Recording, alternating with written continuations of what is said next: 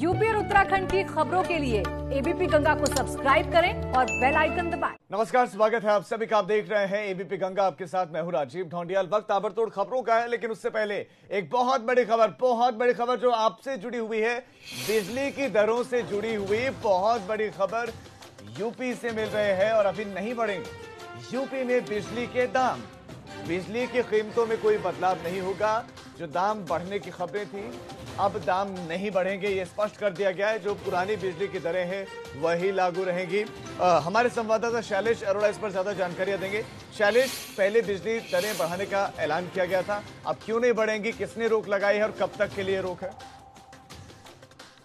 राजीव देखिए लगातार जो है वो पावर कॉरपोरेशन और जो बिजली कंपनियाँ हैं ये बिजली दरें बढ़ाने के पक्ष में थी पावर कॉरपोरेशन प्रस्ताव बनाया गया था जो से जुड़ा था। और स्लैब परिवर्तन की बात ये लोग के निर्देशों के क्रम में कह रहे थे को लेकर जो राज्य विद्युत उपभोक्ता परिषद है, इसके विरोध में था और उसका कहना था कि आज तारीख में बिजली कंपनियों के पास प्रदेश के जो बिजली उपभोक्ता है, उनके तेरह हज़ार तीन सौ सैंतीस करोड़ रुपए पड़े हैं।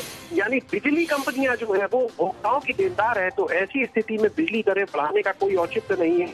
बल्कि इनमें कमी की जानी चाहिए, उपभोक्ताओं को राहत दी जानी चाहिए, क्योंकि उनका पैसा बिजली कंपनियों के पास पड़ा है।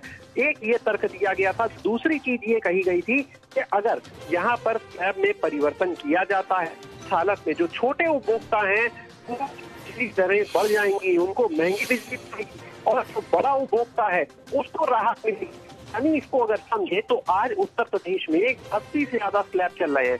तो यहाँ पर जो नया प्रस्ताव था वो इन स्लैब की दरों को पचास के आसपास लाने का था। अगर ऐसा होता तो उस केस में जो परिवर्तन होता उससे जो कम उपभोक्ता है छोटा उपभोक्ता है एक किलोवाट वाला दो किलोवाट वाला जो कम बिजली इस्तेमाल करता है उसको महँगी दर पर बिजली मिलती है। उसके जो यूनिट का रेट होता है वो ज़्यादा होता और वही यानी कि एक बहुत बड़ी राहत बहुत बड़ी राहत आम जनता के लिए। शैलेश आपका इस तमाम जानकारी के लिए बहुत शुक्रिया।